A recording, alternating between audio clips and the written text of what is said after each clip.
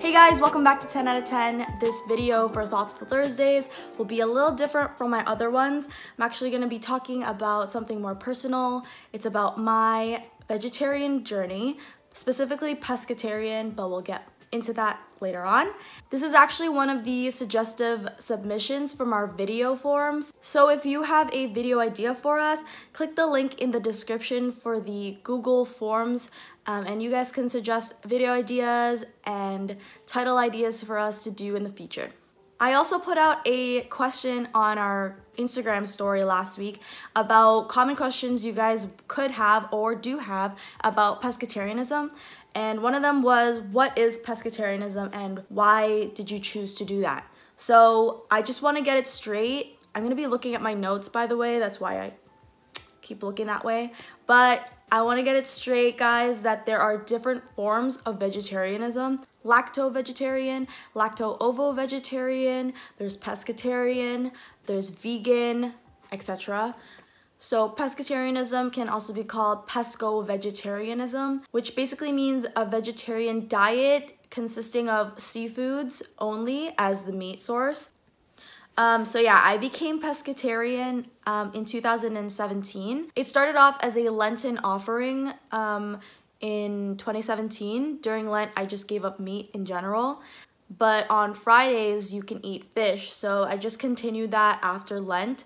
Um, the reason why I did that was because because at the time, I actually didn't like chicken a lot. My family actually ate chicken a lot before, so I would have chicken like all the time anywhere we would go out, there's chicken, and I don't know, I just didn't want to eat chicken anymore. I just didn't like it. Um, so then when I gave it up for Lent, I was like, okay, I think I can do this. So I just gave it up and I became pescatarian. And also because I live at home and I don't cook myself, it's easier for my mom to cook a fish alternative than just go completely vegan or vegetarian. So yeah, that was in 2017 and I'm still pescatarian today.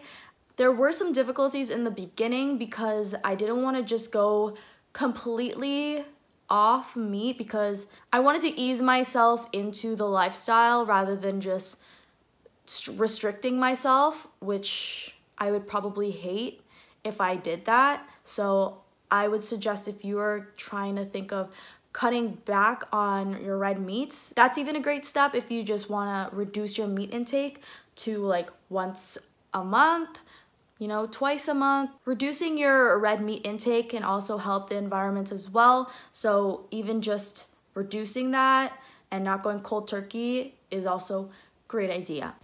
Okay, pause real quick. I'm just gonna show you guys currently what I've been eating the last week, or actually what I got to film because sometimes I forgot.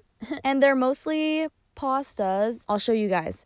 So this is my meal, and I usually just put like balsamic on top. And it's a cold salad. We usually have it with the the the stringy type of pasta, but today it's the bow ties. So yeah. This is a soup my mom made. It's kind of just eyeballed. She got some noodles, made a vegetable broth, put some tofu in it, and it was really good. I've just been eating instant noodles for the past like couple of days because I bought it and my mom hated that I bought it. But I don't know, sometimes I just don't want to eat healthy. I just have cravings. So this is what I've been eating. This is a spicy version of the pancit canton. And I just don't put in the fat part. I just have the soy sauce, and then the seasoning. So before the pandemic, I actually went out a lot and ate. Some people might be like, oh, what do you eat when you're out with your friends who aren't pescatarians? These are just clips that I have. There's always options for vegetarians or fish alternatives. You just gotta look at the menu beforehand. So my parents now are actually pescatarian. They've started it in 2018 when the documentary The Game Changers came out on Netflix, they watched that and they realized that you know what for our health since they are they are a little bit older they want to be able to take care of themselves and to have strong muscles. And they decided that that was best for them at, at that time. And yeah I, I would ask them like do you guys notice a difference from being on red meats or like poultry to just having a pescatarian or a vegetarian diet. And they they really do. They say that they have more energy and they don't feel lethargic after having a meal. So yeah like i would say try it but don't overdo it right? Like there's always extremists at different ends of the spectrum um, but just do what's best for your body and just feel it out to see what you're comfortable with and what your body likes and dislikes. And on top of being a pescatarian, um, I'm also lactose intolerant. Um, I know that that sucks because I love cheese, right? Actually, around the time that I decided to be pescatarian, I started to have um, lactose intolerance. I also think it's because I work at Starbucks and I'm always around milk. So, like on my breaks, I would just have a latte or something that includes dairy. And um, I grew up with 1% milk, but at Starbucks, I would try switching to non-fat milk and then I started to switch to lactose free milk and then to soy milk. And now I only drink plant based milks, and my family only drinks plant based milks as well.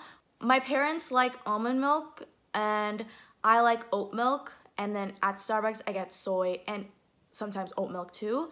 So now my family has a pescatarian diet, and also we drink plant based milk, which I highly encourage. Plant based milk is really good for the environment.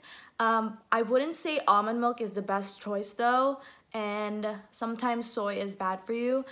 So yeah, for soy, sometimes it's not that good for you.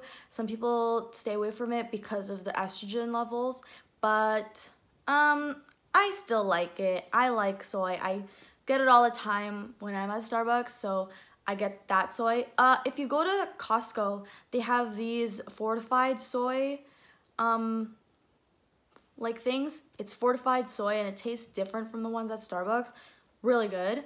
Um, I also don't think almond milk is that good because almond milk to produce almonds, it takes bees and bees are slowly dying off and bees are an essential part in creating almond trees and creating almond milk. It just, you know, requires a lot more bee labor and yeah.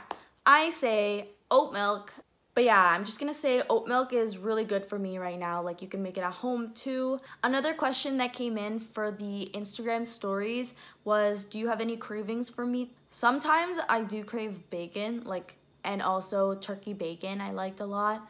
Like my mom makes a vegetarian version of kare kare and like vegetarian versions of Filipino dishes. And I like them a lot, but my parents like, they grew up with like the authentic one, right? Like with the meat. So with it being substituted with like a fish. They like it, but they don't like love it like they did. One time I got tricked into eating chicken and my stomach was hurting. Like when I say hurting, I, I mean like there was like a hole in my stomach. I felt cold and I felt sick and my stomach felt like there was a hole in it. I don't want to eat it. I don't want to eat chicken. I, that was by accident, you know?